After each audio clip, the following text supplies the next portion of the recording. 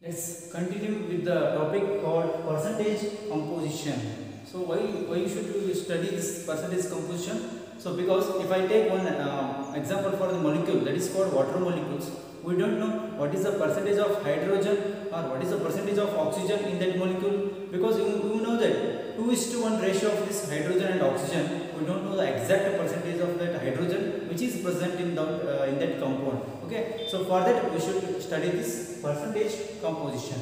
So what it says the amount of various constituent elements amount of various constituent elements present i mean i am telling that hydrogen hydrogen is present uh, element in a compound so present for 100 parts by mass of a given substance by mass of the given substance. I mean simply it is telling that uh, it is a formula. Percentage mass of an element in a compound. In, in order to find out the percentage mass of an element uh, e single element in a compound that is equal to mass of an element that is individual mass of an element into 100 divided by mass of the compound. So for this calculation we need it, we need to know that what is the molar mass of the compound we are going to find out here. So i take one example. So if 8 gram of methane if 8 gram of methane which is containing about the 6 gram of carbon and 2 gram of hydrogen then you should find out the what is the percentage of the carbon and what is the percentage of the hydrogen in that compound. Okay let's see here. So he is going to tell that 8 gram of methane which contains which contains 6 gram of carbon and 2 gram of hydrogen then what is the percentage? What is the percentage composition he is going to ask? You so for that you should follow this one. So now our aim is find out first we are going to find out each percentage of the element. First percentage mass of an element and going to take this percentage mass of the carbon. Percentage mass of the carbon that is equal to because this carbon is present in the compound called methane so mass of an element he has uh, given the mass of an element that is called carbon which contains the 6 gram right? I am going to 6 divided by mass of the compound. He is going to ask the mass of the compound. He has given 8 gram total 8 gram of that methane. So mass of a compound that is called 8 gram. And mass of an element he has given 6 gram of carbon. So i am placing here into 100 because we are going to calculate for the 100 percentage. So what will be the calculation 4 2 ja 4 2 ja 4 5 ja 2 1 ja 2 3 ja so what will be the percentage? 3 into 25 that is called 75 percentage of that carbon which is going to be present in methane compound. Similarly we are going to calculate the hydrogen. Percentage mass of hydrogen that is equal to mass of the element has given already that is what 2 divided by mass of the compound total mass of the compound is 8 into 100 how much 2 1 2 fours are 4 4 1 so that means 25 percentage remaining of this 35 percent 25 percent will be the percentage of the hydrogen so like this we are going to calculate here so like this when you obtain the marks suppose if you are uh, out of 500 this is the total marks how much you obtain suppose if you obtain the 250 you are going to obtain the 250 out of 400 you are going to obtain 250 then you should go to multiply like this this is a simplified calculation method of the mass of an element which is going to be present in the given compound find out this uh, percentage composition of the each element so what is the formula so percentage mass of an element is equal to mass of an individual element into 100 uh, into 100 divided by the molar mass of that compound. First what we should take first here? We should take the molar mass or the molecular mass of this carbon dioxide. What will be this molecular mass? Molecular mass of this carbon dioxide that we should follow that sum of the atomic masses. So how many carbon atom will be there? One carbon atom. And what is the atomic mass of the carbon? So atomic number is 6 then atomic mass will be 12 plus because the sum of the atomic masses of an element in the given compound here how many oxygen? 2 oxygen and atomic mass of the oxygen will be 16 so after this calculation we are going to get the value of 44 gram. Okay, 44 gram. I mean, in given 44 gram of a given compound, there will be presence of the 12 gram of carbon will be present and remaining 32 uh, gram of the oxygen is going to be present in that total 44 gram of that compound. Then we need we need to calculate that individual element that is called percentage mass percentage mass of the carbon. What will be the uh, formula? Formula is nothing but the mass of an element. So how much will be there? So carbon. What is the mass of the carbon? Well, divided by total mass divided by molar mass that is called 44 into you are going to calculate 100 be 27.27 percentage. So this much of this uh, carbon mass of the present uh, mass of the uh, carbon which is going to be present in that much ratio in this given compound. Next we can take percentage mass of the oxygen. What will be that oxygen? So 32 gram of that oxygen which is going to present that is what total 44 I am going to multiply with 100. 72.27 percentage of this oxygen which is going to be present in a given compound. So when you add this after this it comes to 100 percentage. It means in a given total 100 percent of the compound carbon that is what percentage of carbon is contained in the 27.27 percentage and remaining that is called 72.27 percentage of this oxygen which is going to be present in this oxygen in a given compound. Let's solve one more problem that is the calculate percentage composition of the NaCl that is sodium chloride salt. So what we need to calculate first? We should calculate the molecular mass or the molar mass of this compound.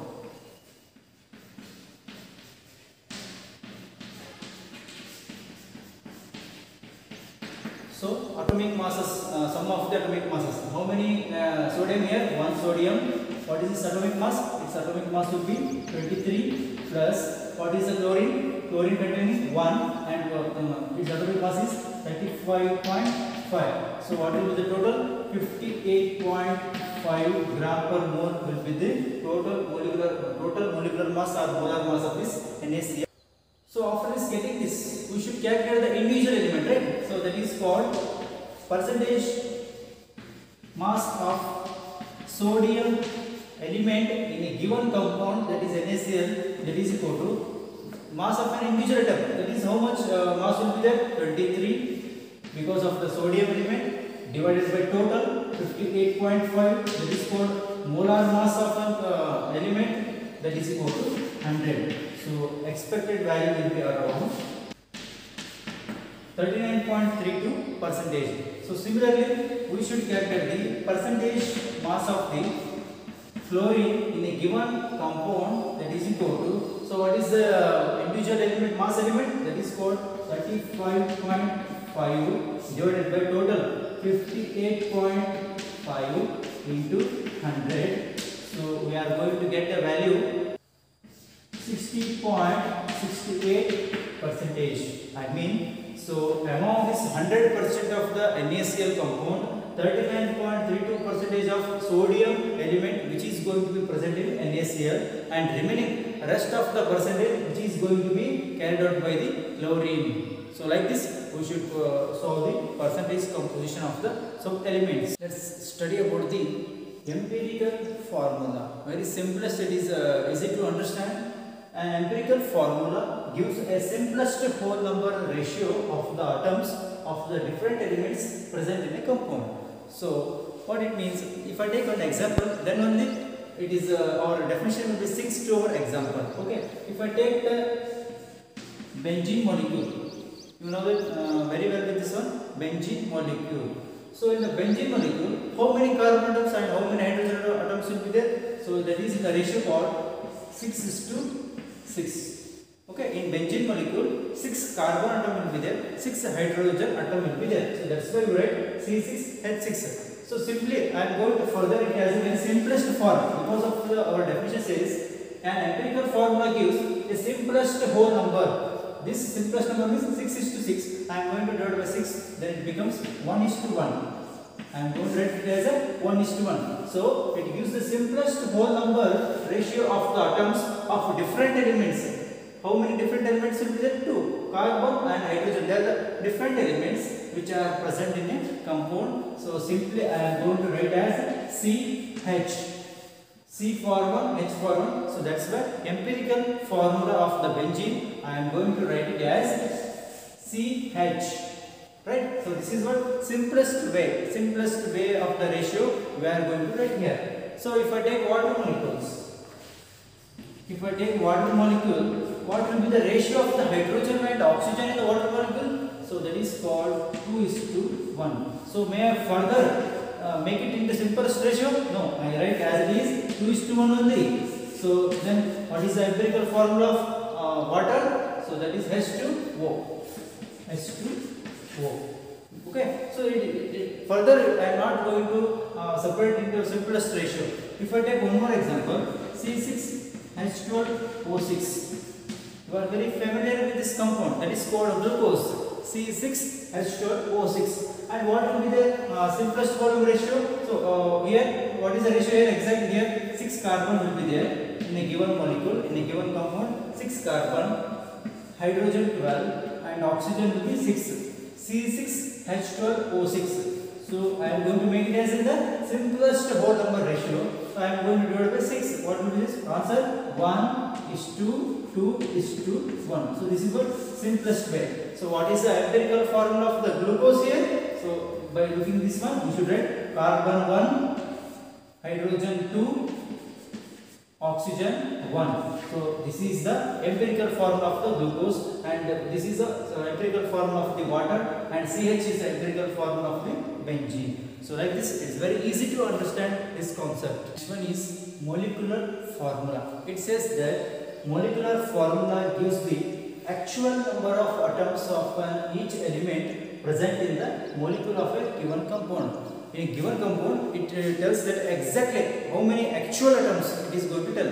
So, if I take example, benzene, molecular formula of the benzene is C6H6 and here it, it tells that one molecule of benzene contains exactly 6 number of carbon atoms and 6 number of hydrogen atoms. It is going to tell the actual number of atoms of each element. Here uh, each element is carbon is a different element, hydrogen is a different element present in the molecule of a given compound. It is the exact uh, atoms. Here one molecule of benzene which contains the 6 number of carbon atoms and 6 number of hydrogen. Similarly, if I take a water, it is a molecular form of water is H2O and here water is uh, in the ratio as 2 is to 1, right? 2 is to 1. Similarly, it is equal to H2O in empirical formula as well as molecular formula. The ratio will be same. That is 2 is to 1. Is 2 atoms of hydrogen and 1 atom of oxygen. And similarly here also, uh, if it is in 6 is to 6 here uh, in molecular formula, so one molecule of benzene contains 6 atoms of carbon and 6 atoms of the hydrogen. Correlation between the empirical formula and molecular formula. Let us see here. So MF is equal to EFN where N is nothing but molecular mass divided by empirical formula mass. So this is the formula that uh, is going to relation between the empirical formula and molecular formula. Let's see one example that is uh, benzene. So benzene you know that C6H6 and its uh, empirical formula has given that is CH. We came to know because of the simplest whole ratio we are going to write this benzene as in uh, empirical formula that is CH and its CH value has given CH value in this empirical formula has given that is 13 okay empirical formula mass has given that is 13 and we need to calculate molecular mass of this benzene. Molecular mass of the benzene is around 78 how it came 78 how do you got 78 because the 6 into atomic mass of the carbon that is 6 into 12 plus because the sum of the atomic masses and 6 hydrogen will be there 6 into its atomic mass of hydrogen is 1 I mean 6 into 12 plus 1 into 6 that is going to give 78 gram per mole of this compound that is molecular mass of this benzene is 78 now we are going to substitute here. What is the molecular mass of the benzene is given? 78 gram per mole divided by what is the EM, EF mass? That is empirical formula mass as given 13 so we are going to get the value as 6 what is this 6 6 you should substitute here so EF of the benzene is given as CH unit. I write as a CH and what you get uh, how, how do you got the value of N? N is nothing but molecular mass divided by empirical formula mass. That we got the N as 6 okay so now we can write as C6H6 so like this we are going to correlate between empirical formula and molecular formula